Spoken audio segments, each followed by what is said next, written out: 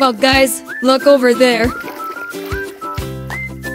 There is spotted eagle ray. The spotted eagle ray usually eats fish, crustaceans, such as crabs, shrimp and hermit crabs. It also eats mollusks such as bivalves, sea snails and octopus. Spotted eagle rays have special teeth for crushing shelled mollusks. There is crab.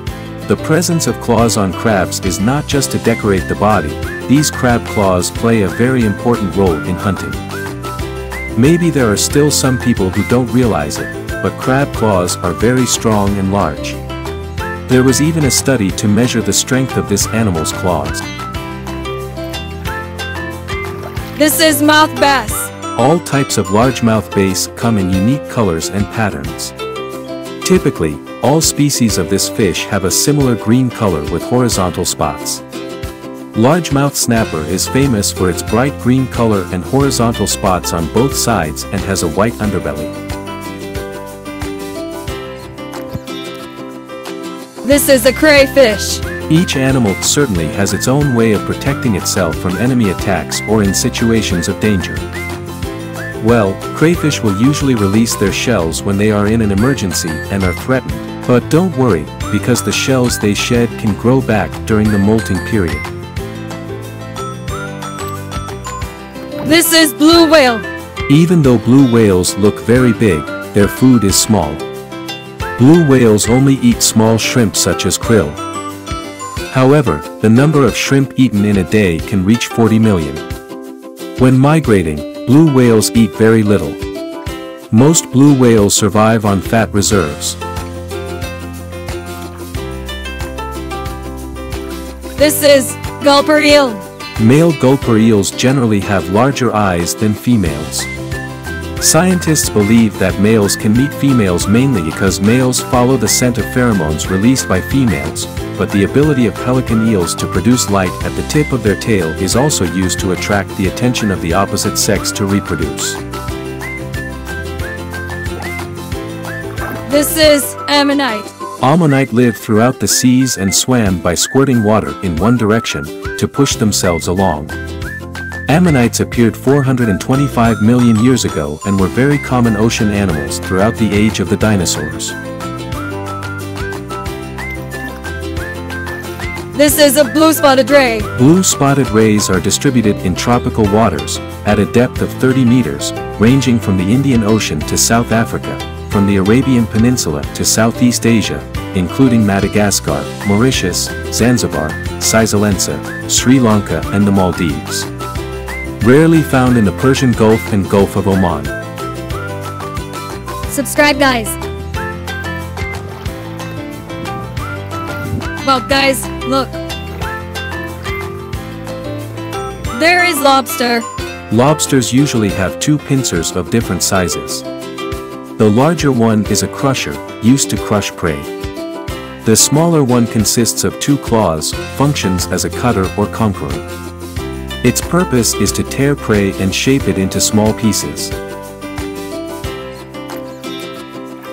This is Gurnard fish. Currently there are many hobbyists who choose flying Gurnard fish to fill their aquariums. Food that tends to be easy to care for also makes this fish relatively easy to care for. However, that doesn't mean there are no challenges at all in keeping Gurnard flying fish. With a maximum size of up to 50 centimeters. There is an octopus. Most octopuses live on the sea floor, but some often swim closer to the surface. A solitary animal, octopuses usually live alone, sometimes in nests they build out of rocks, sometimes in their shells that rest on top of themselves. This is squid. Squid are intelligent sea creatures. They have large and complex brains, even comparable to those of whales. The squid's ability to learn and adapt also impressed researchers. They are capable of completing complex tasks and even exhibit behavior that indicates extraordinary intelligence. This is a hermit crab. The hermit crab will shed its old shell and make its body unable to move for some time, as if it were dead. Even though they are small, hermit crabs actually have quite a long lifespan, you know. Hermit crabs in the wild can live for 30 years. This is a moray eel. Several types of moray eels have very beautiful body colors. The colors and patterns on the moray eel's body vary greatly depending on the type. Many marine aquarium lovers use this eel as an addition to their aquarium collection. Several tourist attractions have collections of various types of beautiful moray eels.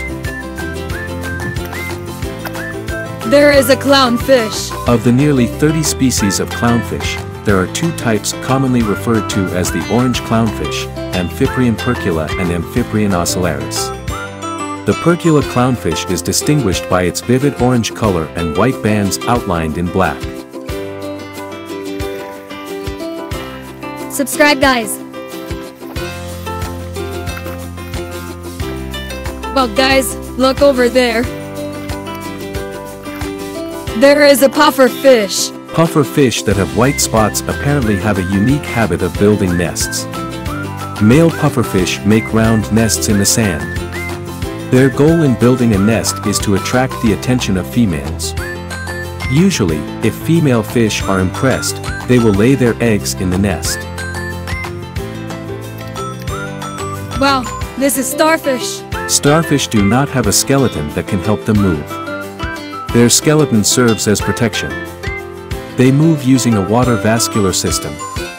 They depend on tube feet located on the ventral side of the snake star's arms, which function for movement and help with feeding. There is a jellyfish. Not only do jellyfish not have brains, they also don't have blood, bones and hearts. However, they have a basic nervous system with receptors that can detect light, vibrations and chemicals in the water. This ability, as this marine animal navigates in the water. Their bodies consist of 98% water. This is dolphin. Some researchers have found that dolphins have the longest memories of any species, apart from humans. A study revealed that dolphins can recognize the voices of their close friends, even after being separated for 20 years. A number of scientists have concluded that this extraordinary memory can be linked to the evolution of social relationships among dolphins. This is box fish. Box fish are not poisonous like puffer fish. Its spotted skin like a leopard, its small mouth, and the hexagon shape of its shell easily make people think this fish is strange. Maybe even similar to ancient fish. Therefore, no one sells this fish here, it is probably considered inedible. This is a Decapodiformer. Decapodiformes is a superorder of cephalopoda consisting of all cephalopod species with 10 limbs, specifically 8 short arms and 2 long tentacles. This is garfish. Alligators are very calm fish, if you get the chance to see one. They will appear to be floating or submerged in water. However, don't be fooled, this is how they hunt. They won't move until a fish startles them and comes close.